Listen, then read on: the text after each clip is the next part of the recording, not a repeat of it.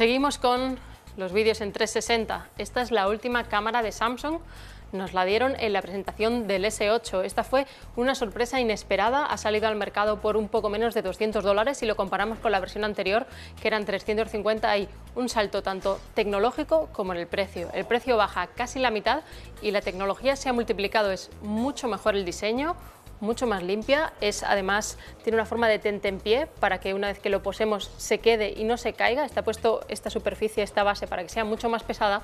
Y además ya graba en 4K. El vídeo tiene muchísima más calidad y otro aspecto muy importante, lo han hecho compatible no solo con los aparatos de Samsung, que era una de las dificultades, de los impedimentos que tenía la versión anterior, sino que funciona tanto con iOS como con algunos ordenadores que son compatibles con la aplicación y también con la mayoría de los teléfonos Android. ¿Por qué Facebook tiene interés en esto? ¿Por qué Samsung lo están impulsando?